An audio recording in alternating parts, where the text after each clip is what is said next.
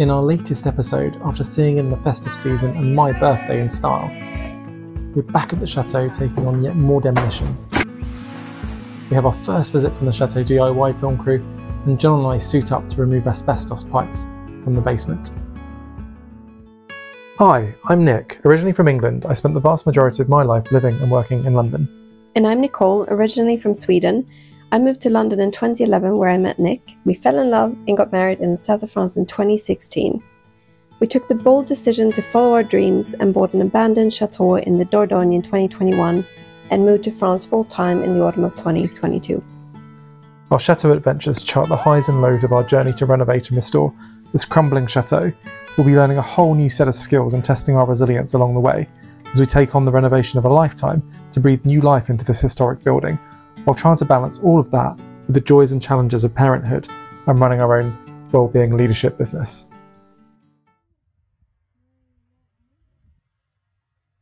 So in our latest episode, we we're kind of approaching so many different projects thanks to the fact that we have lots of extra pairs of hands. Um, in this, in the what? What do Yeah. we have? We have my parents and their friends. Exactly. So we had well four additional pair of hands on deck, which was great. Yeah, So we thought that we'd just show you physically where we were doing the works, which might help navigate the place. yeah, yeah, yeah. And so we spent quite a lot of our time. Always not very good at this in this bit here. So this is the grand entrance, or will become the grand entrance. We've got grand plans to have an arch for the entrance uh, door there instead of the piddly little door that's there now. Um, what are we doing in there? Three things, I think. Yeah. So taking down a chimney, an old fireplace that wasn't that old. Yeah, well, we took down out the toilet. Yeah. Which Nicole was a little bit concerned about. Yes. We also took out, well, the floor. Uh, they, they'd put in cement floors uh, where the toilet was and the old bathroom was. Yeah. So we took those out as well. Um, in in preparation for us wanting to put underfloor heating in in due course. and not- to secure, secure the floor because now there's just two gaping holes. Yeah, yeah, maybe we should have left the concrete in there a little bit longer. I don't know. Um, and then in the Grand Salon, which is just behind the entrance hall, uh, where we were working last time and taking down the dividing wall, we were just finishing off taking some of the plaster off the wall. Um, and then in the far side of the chateau over here, in this room over here, you, my mum, Took down a dividing wall. yeah, She was going at it with a jackhammer yeah, I know. Watch the space. And and then sledgehammer. yeah, yeah, and we had the Chateau DIY crew for the very first time. Yeah, which was super exciting for us. Added some pressure yeah, for time scales, but it was really great to have the crew here. So that was a new experience for us in Yeah. the midst of trying to get things ready. And then the very last thing we did. We'll have to show you if you come with us.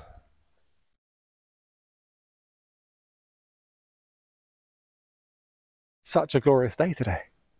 17 degrees at the end of Jan. That's why we moved here. and so, yes, the other piece of work we did, was in here. which is going to be our future kind of chaufferie uh, with all our kind of heating and plumbing and everything else. But uh, we had a bit of a, an issue with some asbestos pipes, which needed removing. That had been made clear in the in the report, the diagnostic that you get, although actually the diagnostic was wrong in the sense that they'd only identified one pipe, and in fact there were three pipes, which were leading off the old septic um, tank, um, which were on the mains now. Again, another really good thing. But uh, So you and John got suited and booted, like spacemen. yeah, exactly. Um, yeah, and I had quite a few sleepless nights just worrying about are we doing the right thing? Should we get contractors in? The problem was the price tag on that was what euros. Yeah. I was just like, So what turned out to be how long did it take you in the end? yeah, like a few hours. Yeah. I mean and then that's incredible. and then it was 17 euros for us to deposit it at the local uh, déchetterie, the local um, waste disposal Tip. place. Yeah. You know, so yeah, I mean, we yeah we took the precautions we needed, um, and I guess hopefully, fingers crossed, we'll find out in about 30 years or 40 years time if that was the wrong decision. But uh, Hopefully not. hopefully not. I think you were well enough suited and booted. Yeah, I had a massive breathing apparatus on and everything else, and again, it was a pretty small exposure because we wrapped everything in plastic. And anyway, you'll see. We'd spent Christmas in Sweden visiting Nicole's family. We stayed out um, in their summer house in the middle of winter um, with a roaring fire which kept us warm. Um, but we're surrounded by a winter wonderland, and it was just gorgeous being able to explore all the, the little paths that meander through the forest. Yeah, here we go. Exhibit A. Nicole dropping all the hay. There's very little proof. Proof. For a good cause. My point being is that they're going to find us. They're going to hunt us down. And we're going to be in big trouble.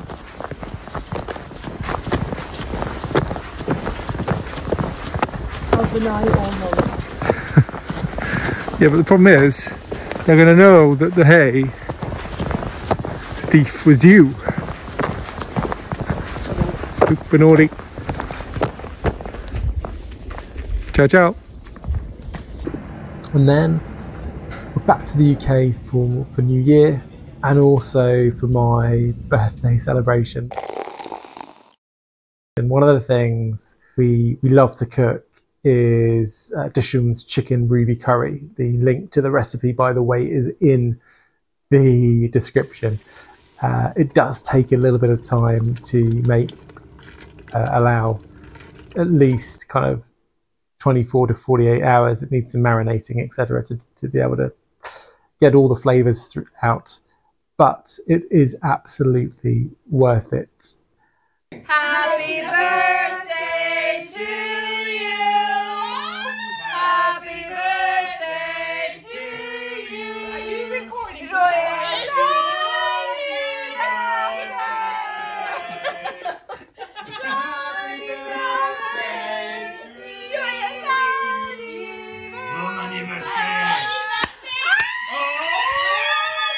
And then we follow that up with fireworks. Our flat in, London is based in Greenwich, and the fireworks that year were literally um, taking place over the O2 um, with a massive drone show as well, which is pretty phenomenal.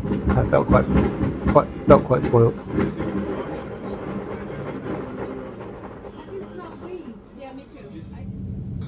But finally, at the end of January, we were on our flight back off to the chateau, where Nicole was greeted by our fairy friend yet again.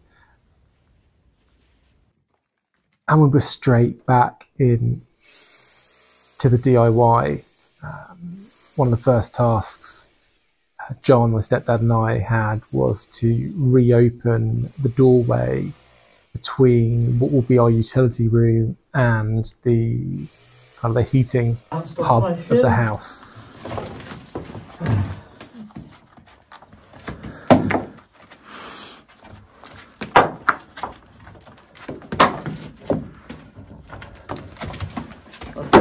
Uh, stuff in place. Oh.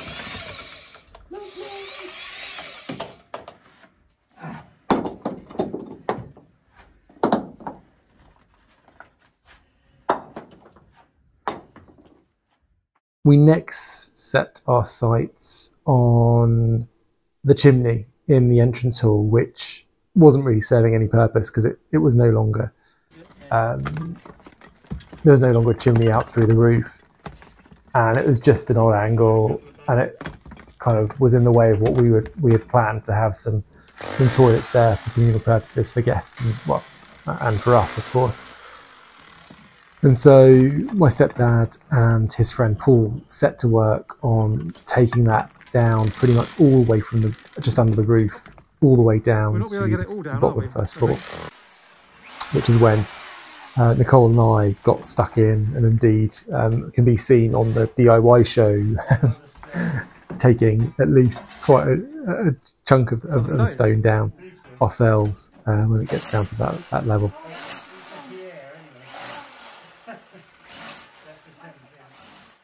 And then we're back into the Grand Salon, where Nicole and my mum were you know, taking it, taking down the rest of the plaster on the staircase. And then at last it was time for a break and some coffee, and then and then lunch, although not before Nicole made another pretty incredible discovery uh, on the lower part of the staircase, where she unearthed uh, an old chapel window. Um, we we believe that part of the chateau. It's been extended over the years, but used to be uh, a monastery, gorgeous. uh, or at least had its own chapel of some description. But certainly the the rumour mill that exists within the villages that used to be a monastery before it was extended in, o- over over the years. I just need to get loose. Oh no, no, I'm gonna do this. Is that a good idea? Just a little bit of this. this.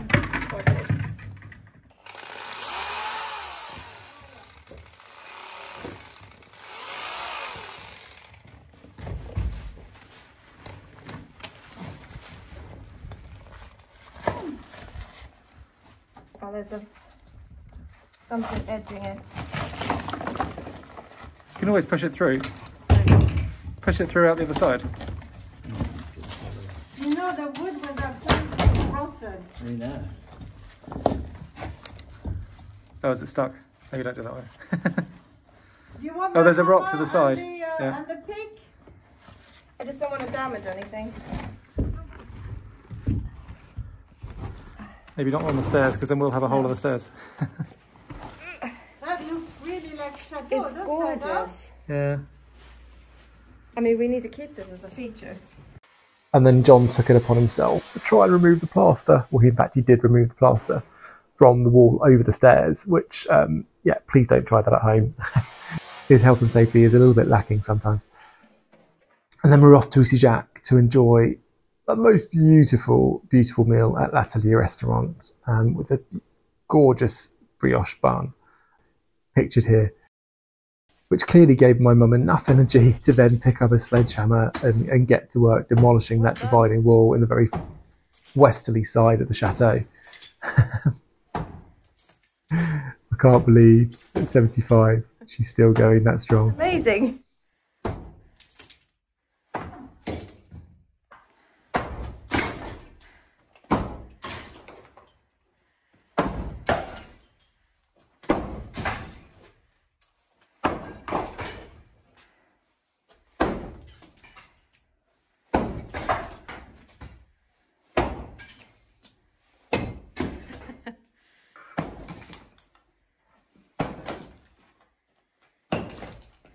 Like golfing.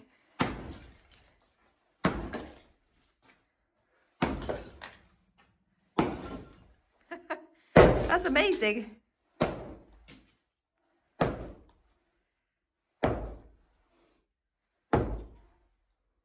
And then, yes, for all of those of you who were super keen for us to, to build a chute, um, you'll be you'll be pleased to see that that both uh, my stepdad and, and Paul uh, were on that. Uh, one of the first things they did was to build the chute, so we could em- empty the rubble from the chimney and the various other things we were, we were demolishing uh, into the skip.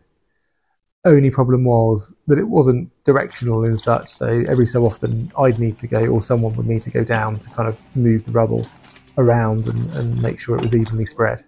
Our next task, and I mean, we were literally just getting through it uh, thanks to having so many people on site, but um, was to take up the the old bathroom and eventually the toilet floor as well, uh, which was cemented onto the beams.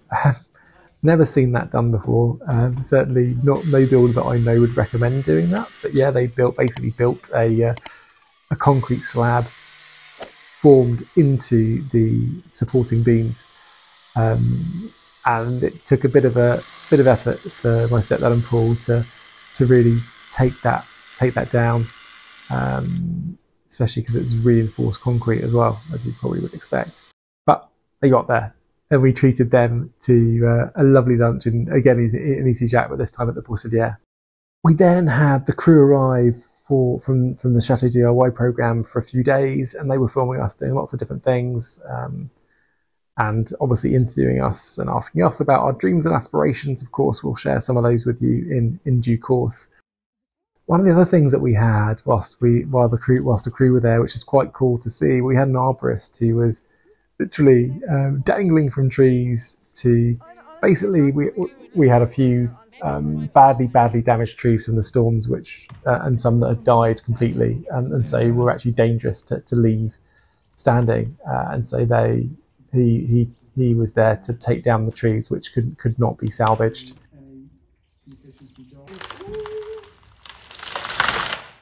And then with Paul and Helen, our extra pair of hands gone, John was helping me to remove the cement floor from where the toilet was. we don't have any footage from that because that was all filmed for the DIY show, but uh, you probably saw where it was previously, and it is no longer there.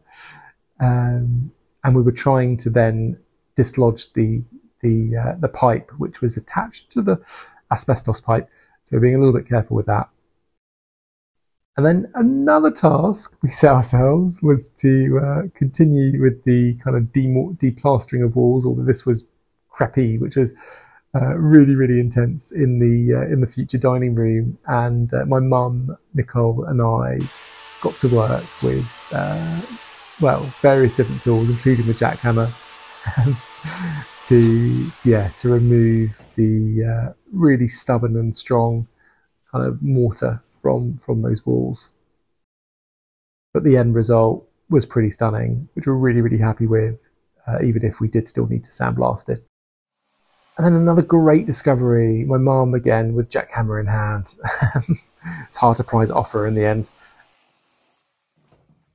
But we're taking down the plaster in the entrance hall and we discovered this uh, old archway and it's so fascinating to, to see the old kind of traces of architecture of, of, the changes in the building over the over the decades and the centuries.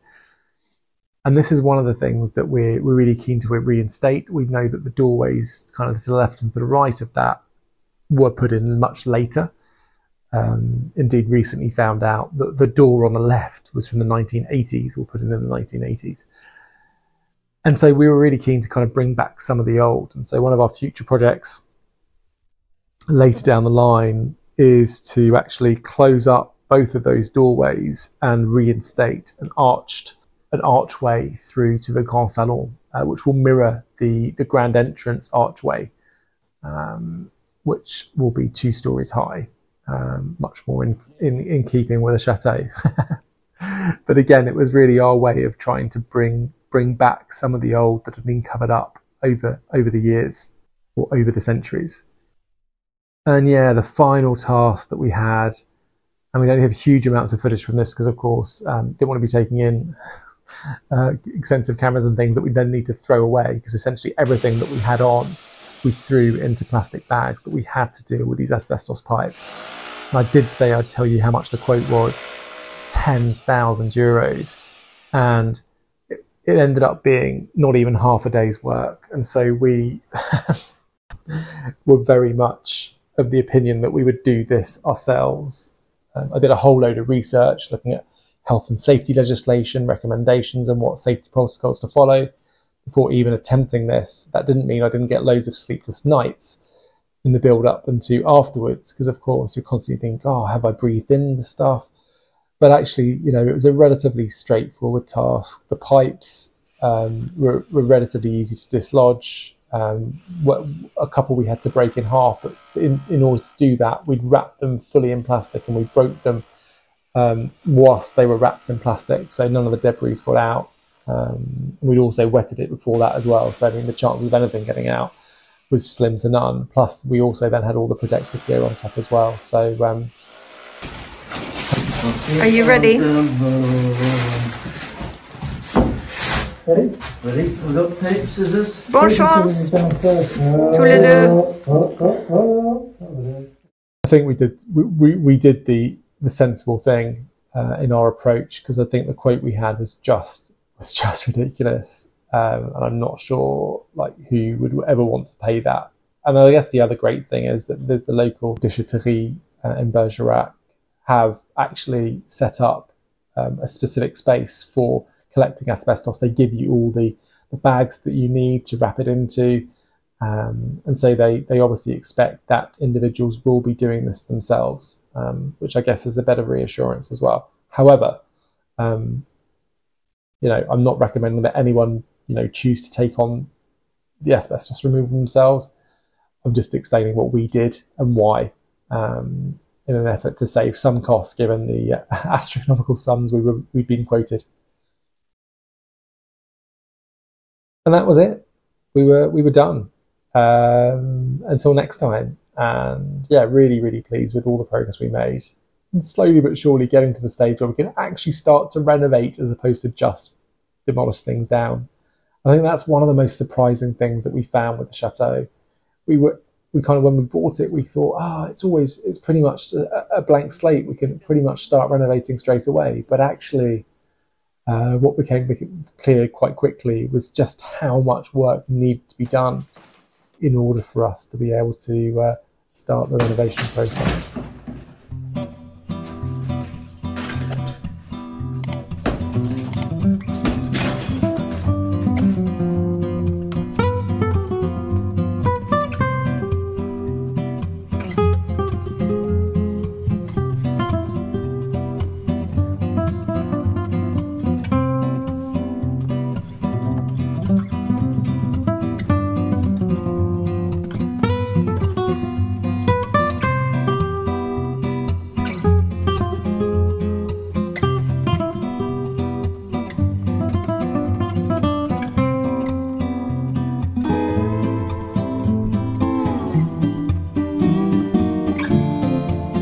One last thing, if you're enjoying this and you haven't done so already, love you to either like or subscribe or both, um, as it actually really, really helps us um, in, in spreading the word about work that we're doing and the channel that we've created. So a huge thank you to everyone who has subscribed so far. We really appreciate it and uh, we hope that you continue enjoying our Chateau adventures.